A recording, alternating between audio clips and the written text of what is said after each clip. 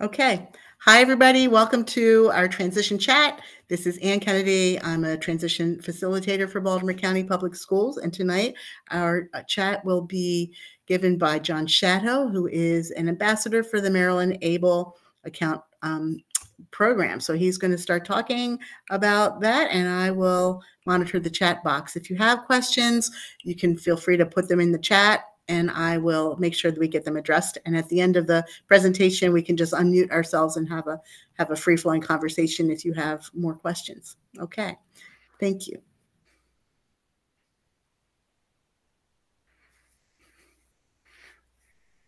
Are we ready? Yes, you can take it away, John. Thank oh, you. wonderful. Thank you. Thank you. We can go ahead and go to the next slide.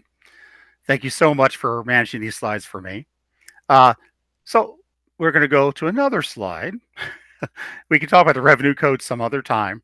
Uh, so ABLE is the unique program put through by the federal government. So every state can elect to choose to do an ABLE and then improve their ABLE plan. And the whole purpose is this.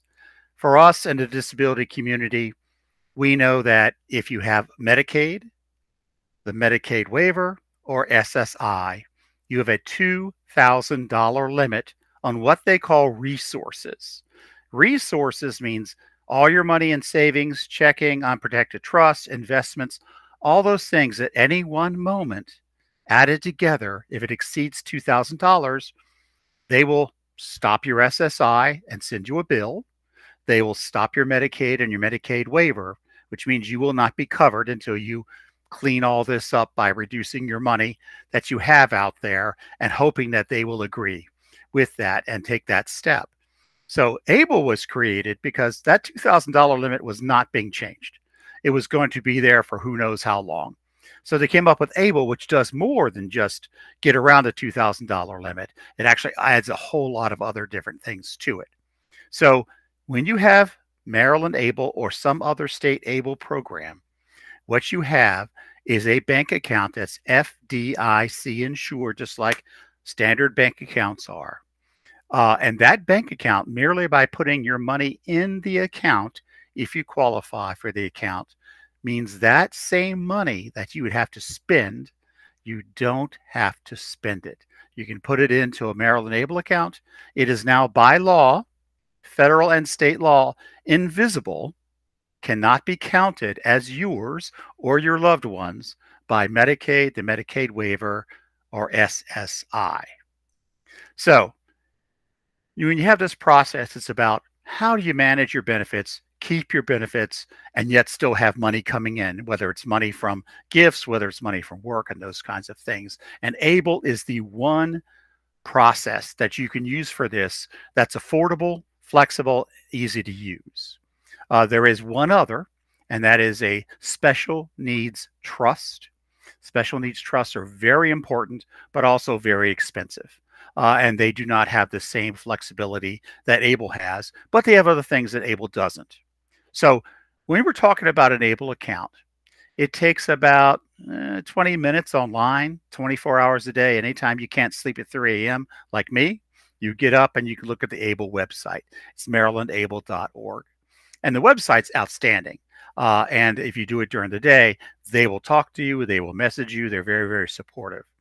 Uh, and the reason that you go do this is go look at the website. This program is permanent. It's not going anywhere. It's written into the IRS code for the for the federal uh, federal government.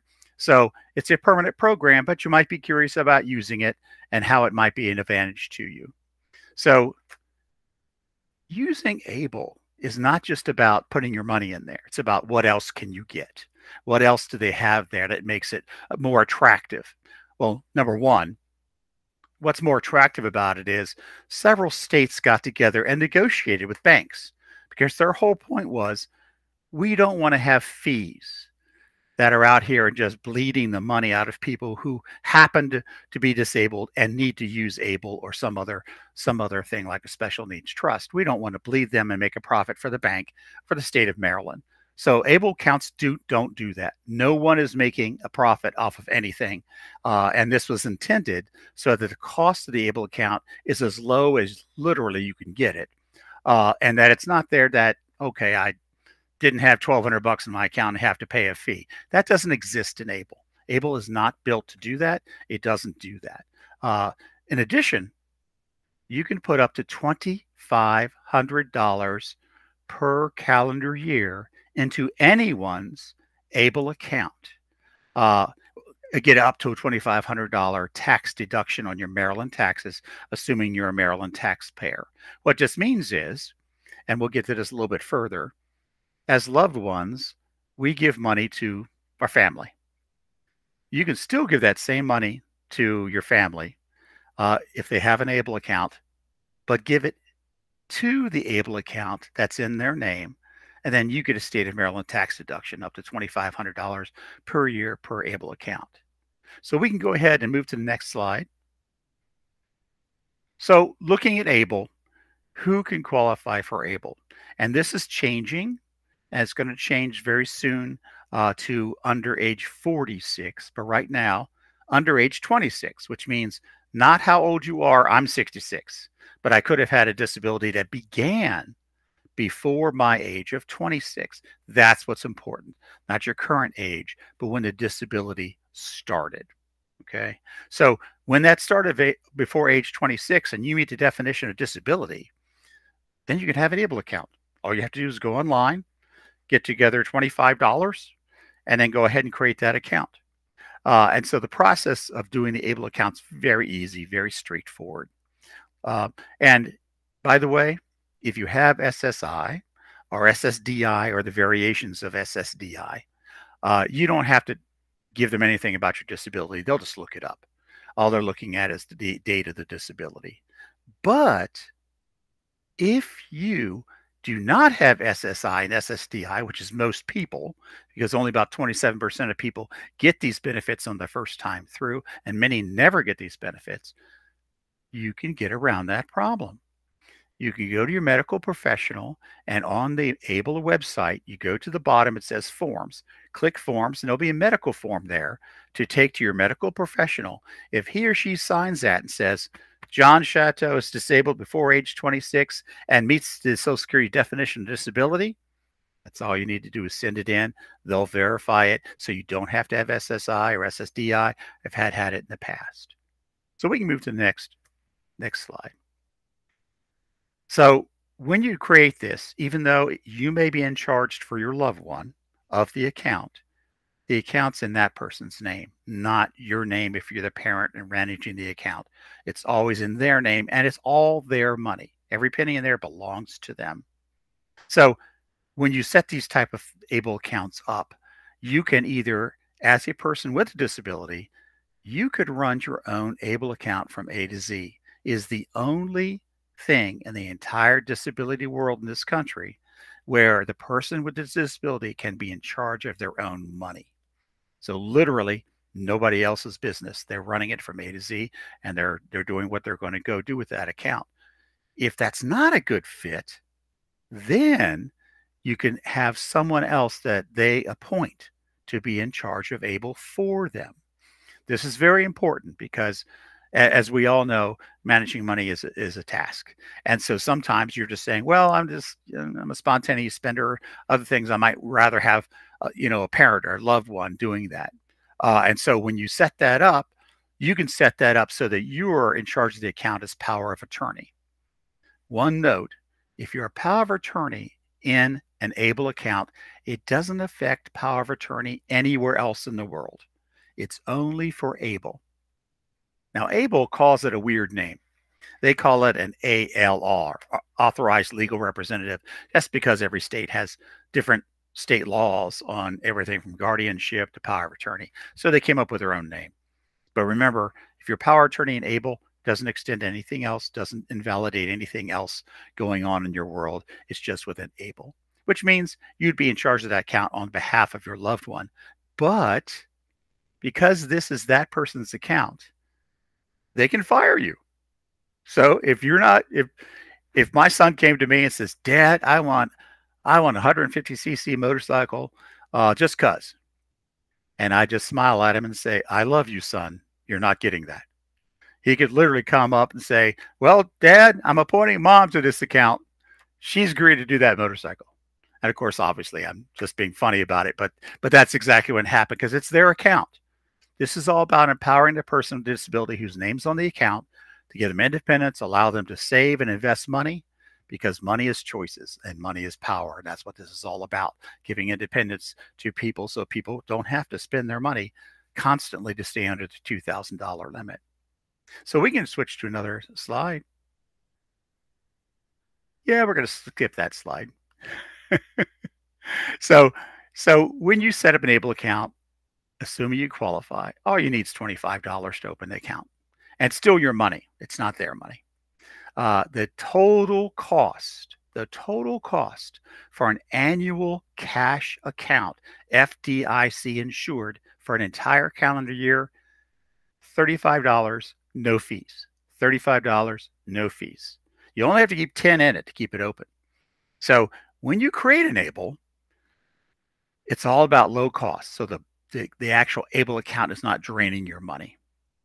If you signed up now, you wouldn't pay 35 for the rest of the year. They prorate it by quarter. So it'd be less than that. So getting into an ABLE account is easy. It's the cheapest thing going. That's why they negotiated this so no one makes any money out of the process. So when you do this and you put this money in ABLE uh, and you're setting it up, what they're going to ask you is, do you want to connect it to outside checking accounts to transfer the money from ABLE to another account? I think they go to like 11 accounts. So you can do all kinds of different things about breaking the money up and however you wanted to go do that. And that's one way that you can move money from ABLE out to use it. It's just by transferring it to another bank account.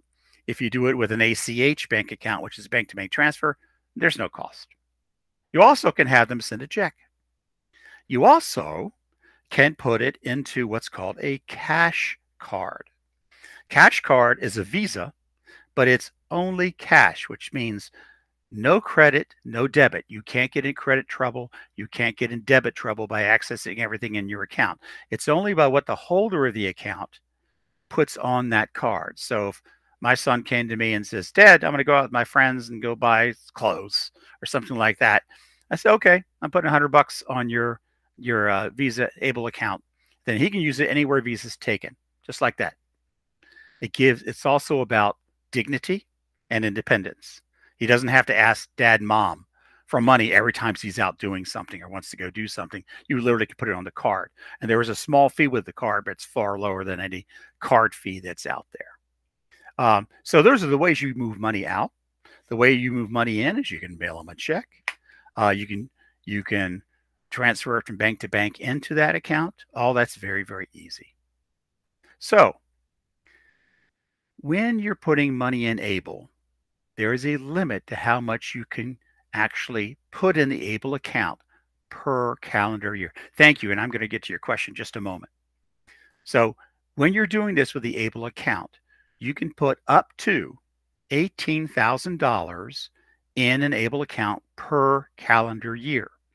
That $18,000 is a contribution limit, not a balance of the account. So what happens if I put in over the year? You could put in $35 or $50. You don't have to put any more than that in there. But if you do get that 18,000, suppose you're over by a little bit because an aunt was nice enough and sent 25 bucks to the account. There's no fee for that. They're just going to mail you back the $25 and say, hold it until January 1st, then put it in. So there's no fee for that. Okay. So the $18,000 limit is extremely important because you can, under certain conditions, put in more than 18,000 as you see on the slide. You go up to 14,580 if the person's working under certain conditions. Why did they put that in there? Because many people who are disabled are in recession jobs. If they have a recession, that job may go away. But also, they often don't have any type of retirement mechanism for you to put money aside. So they added that for people who are working. So they actually put more in per year to make up for not having that type of retirement support in their job. So some folks here have have uh, loved ones who are receiving SSI or they themselves are receiving SSI. In an agreement with Social Security, when they created ABLE, they will allow a person with SSI and an ABLE account to have up to $100,000 in that account, and it will not affect the resource limit on SSI, which is $2,000, which means you can just you can invest that money, you can just get capital gains, you can get interest off that money, you can give money every year to it, and up to $100,000, no effect whatsoever on SSI.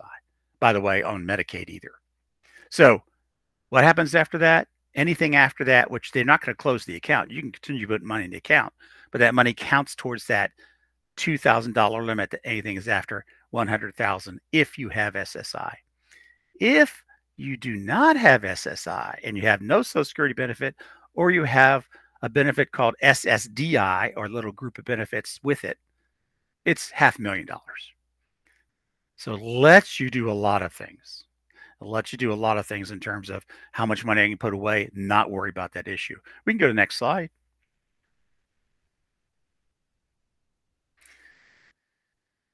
So the contributions that they're talking about uh, is about unemployment benefits and things of that nature. If you have questions about that, um, I'm also certified by Social Security as a disability analyst. I don't work for them, but I work with Social Security disability benefits and work all the time. You can reach me at the ARC Montgomery County, and it's John at ARC Montgomery County, and I'm there on the website. Uh, and then you can contact me. We'll talk about more details about unemployment and things like that. We can go to the next slide. So this is very, very important. So you can roll over money from a 529 into ABLE. So if you're saving for the college fund and getting tax breaks there, you could also have an ABLE account and get tax breaks there. And if you're not using all that money from the 529, you can roll it over into ABLE, subject to that $18,000 per year contribution limit. So it allows people to be more flexible with their money to move back forward. And many people talk to me about this. And the answer is yes, as long as you're within the the, uh, the contribution limit per year. Okay, we can go to the next slide. So there's a variety of investment options. So if you wish to invest and you do not have to, you can have a cash account for $35 a year, which has interest, but you can also choose investments or a cash account and investments if you simply decide this is a good fit.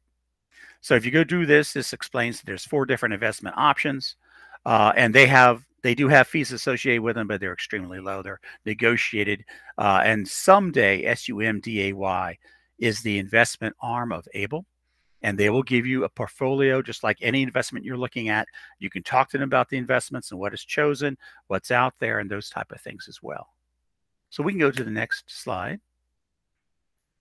So, who can give to a, an ABLE account?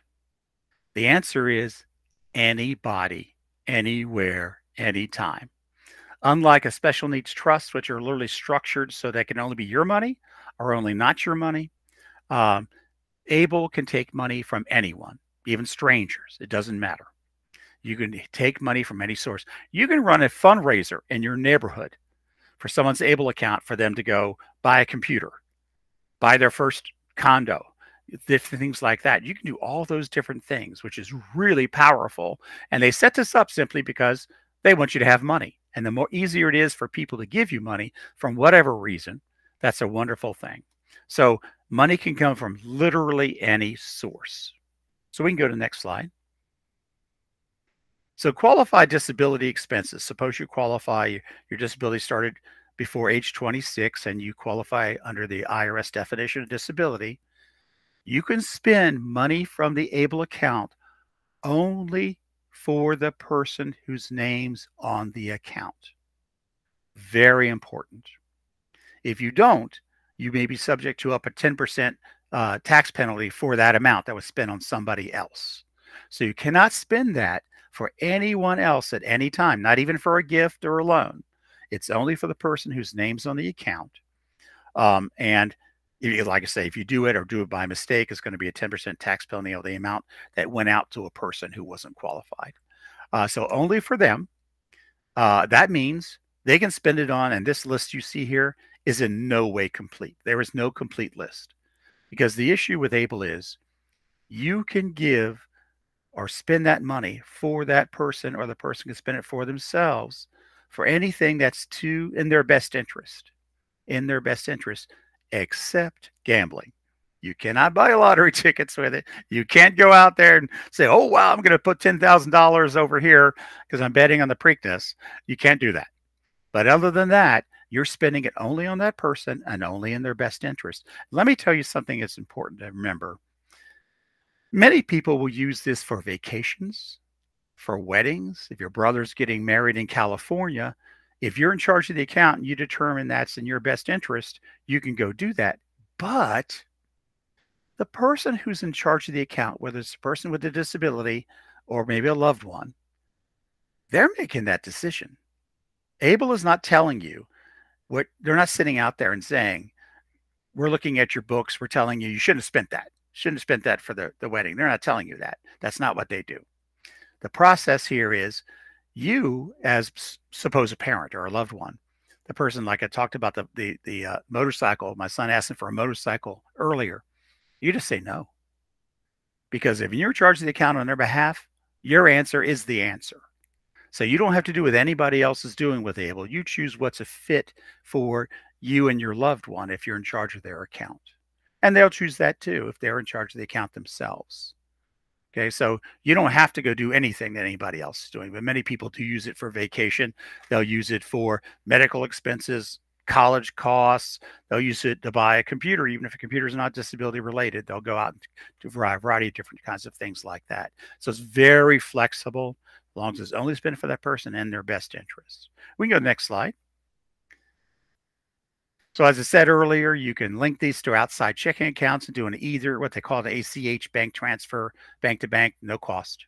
Uh, they do not take uh, credit card transactions because Maryland is not going to pay that fee. So no one's paying that fee. That's why you do a bank transfer, you use a check, those kinds of things. And the prepaid card, is, as is mentioned here on the slide, again, that's a Visa card. It's not debit, not credit. If I put $100 on there for my son and his bill costs 120, he better have 20 in his pocket because that that able card is only paying 100 but since it's visa he can use it freely anywhere visa is used. Next slide please. Oh this is great.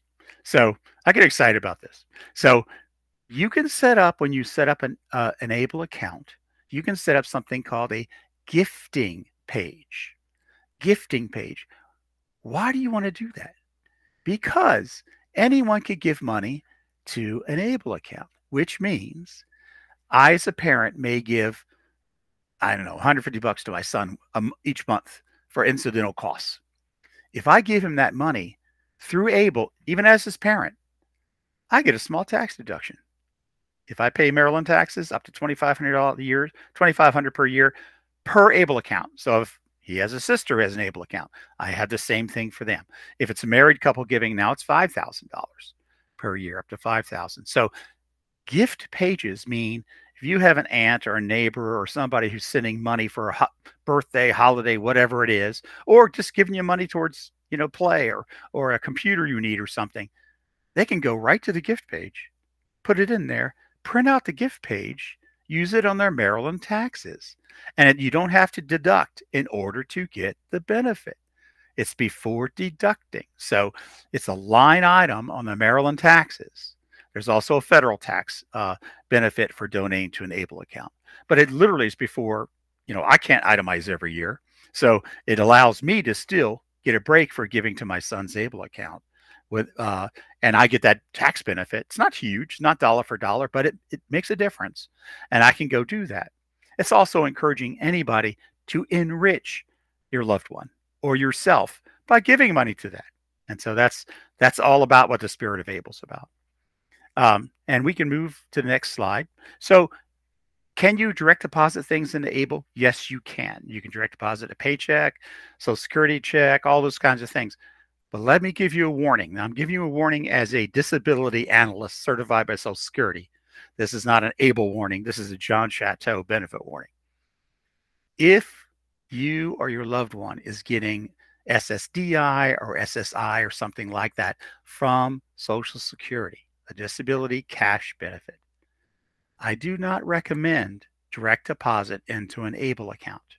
And this is why. Social Security is really good at protecting people's money. So suppose you hit that $18,000 limit per calendar year but there's still one more Social Security check to come. Social Security will get that little rejection electronically from ABLE because ABLE will not accept the money after the $18,000 contribution limit. So this is what's probably going to happen. In fact, I can tell you this is what's going to happen.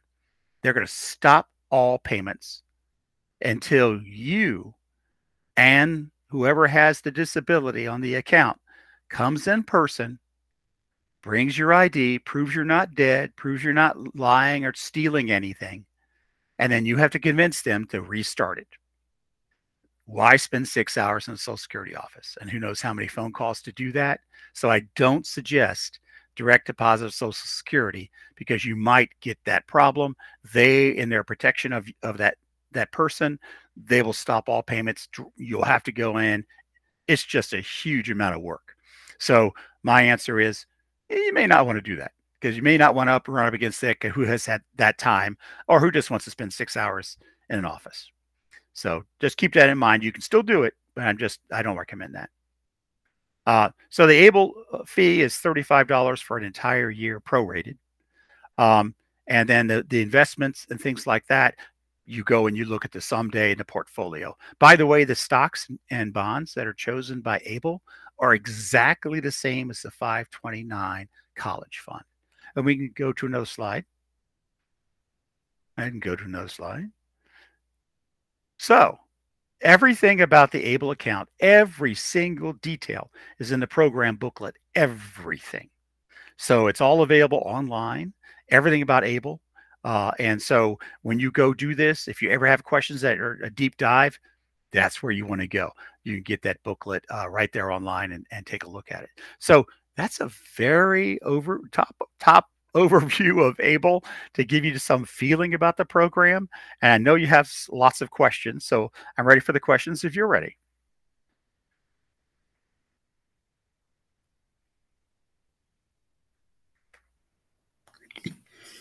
so i'm just going to go run down the questions in the chat box okay sure Sure. Um, and if anybody else wants to um, unmute themselves and clarify more about what they meant by the question, please feel free to do that. So is that new to is that new to be able to send in the physician's form acknowledging that there is a disability? Last year, or the year before, we were told we needed to hold on to the form. Oh, the uh, the form has been online, and and one way to do this without having Social Security benefits for a long time. Um, I don't know if they told you to hold on to the form or to send the form in. They may have told you we don't need that unless we ask for it. Uh, that's possible too. But if you already have a um, Social Security disability income or SS, no, no, no, uh, no, don't need to do that. Right. That's that's a way for people who do not have Social Security benefits, okay. so that disability has not been established. So that's why you use that form. Right. Okay. So I'm I'm sorry, I'm the one that asked that question. I'm Robin.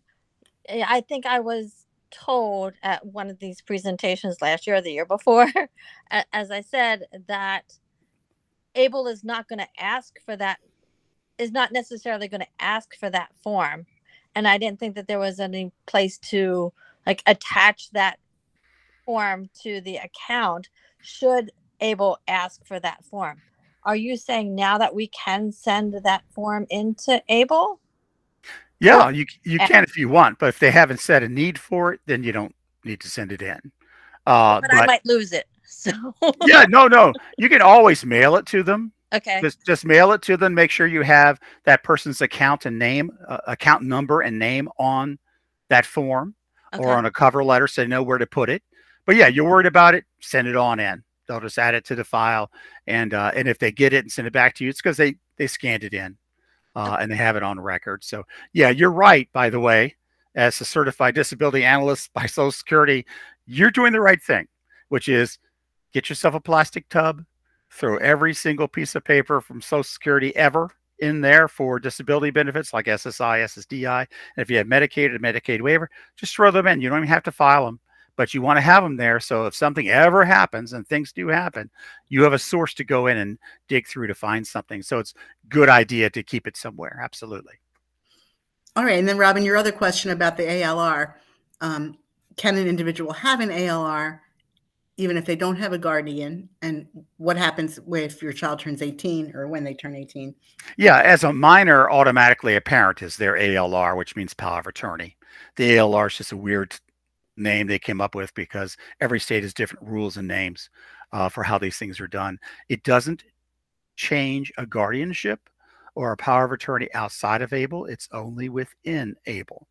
So, so it, ABLE is a standalone financial program. It's not connected to Social Security or Medicaid or any of those benefits, but it's out there. And and the process with ABLE is that when you have this, when you have all this together uh, uh, for ABLE, you're you're just available to go do all those different things. So throw, you know, keep those things and, and store those things so that you don't lose track of anything that you've got going.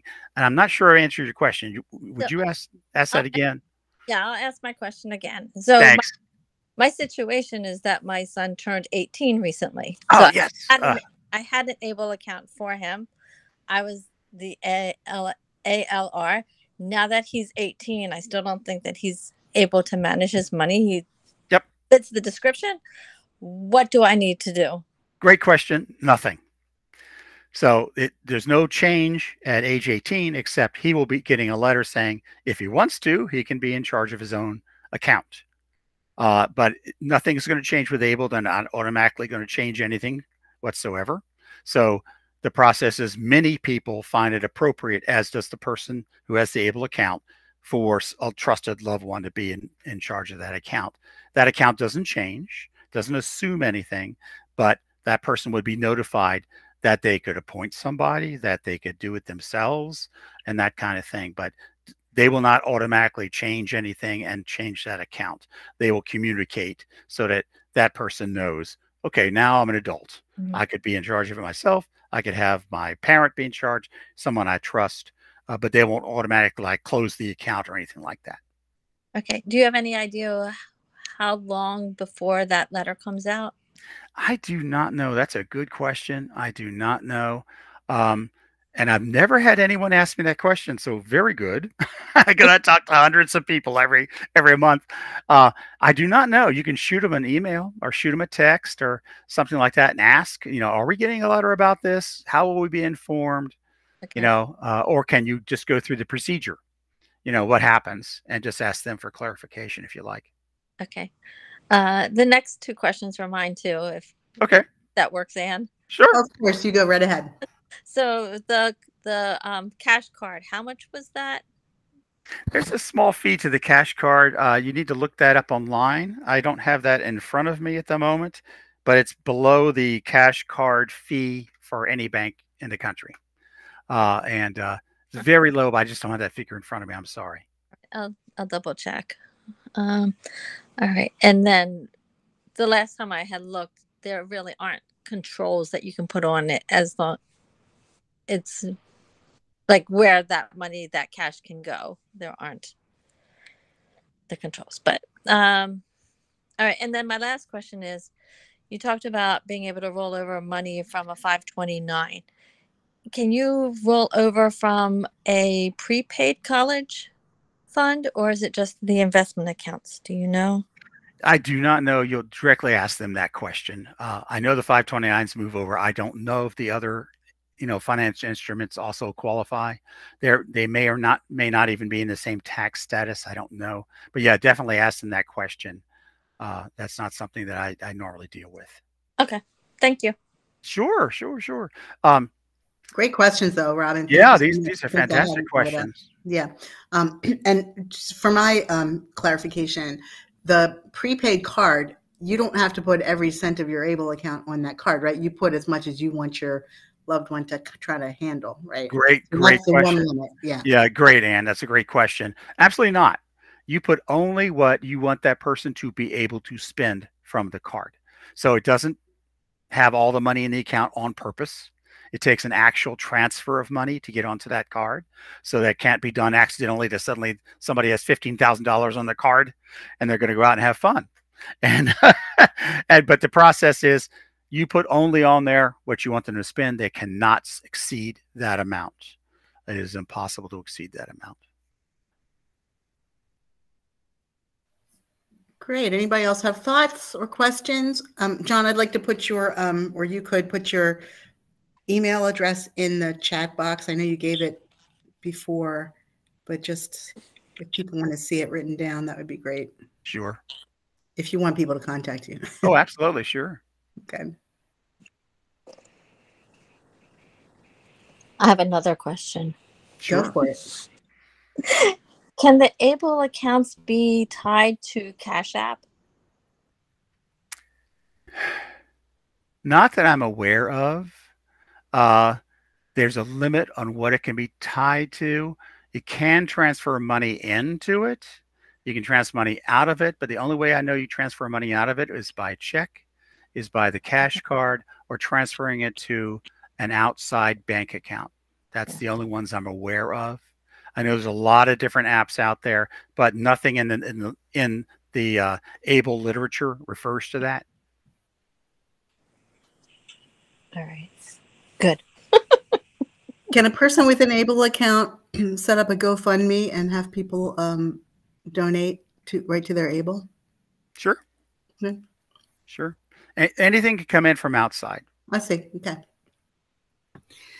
Um, John, what happens if the the young adult loses their card or it's stolen?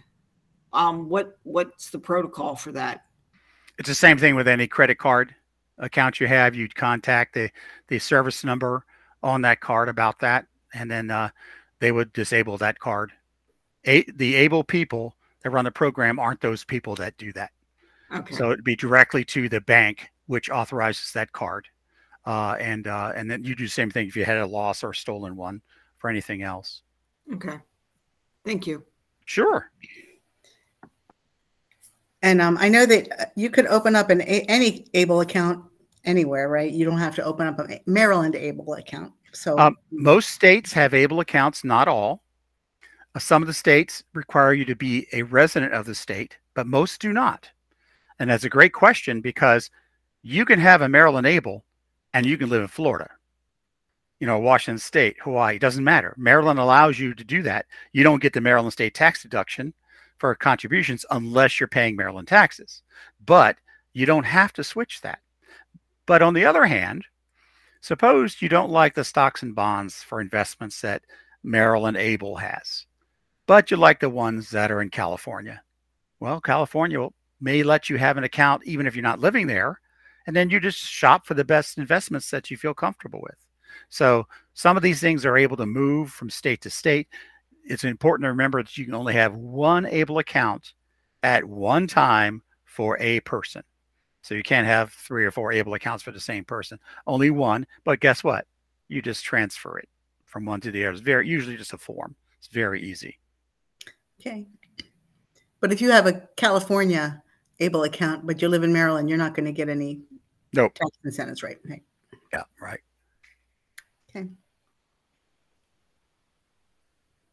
Well, I've said this before, and I will say it now that I think ABLE is one of the best programs that have come around for people with disabilities to really improve their lives. And we've had, you know, really in a long, long time. And then there's John's um, contact information if anybody wants to take that down. Um, do we have any more questions tonight? This was such great information. So this recording um, of this presentation will be on the, Depart- uh, the Department of Special Ed website under transition resources. Um, and you can access it there um, in a few days when, when our tech person gets it up there. And we'll also put this these slides um, on there too. So you can look at them later. You can tell your friends to come and look at them. Um, it'll be there for you. So John, I'll let you go. Thank you so much for Thank you. for us. Thank you. Thank you. Take Thank care now. Kirsten's you. mom, too.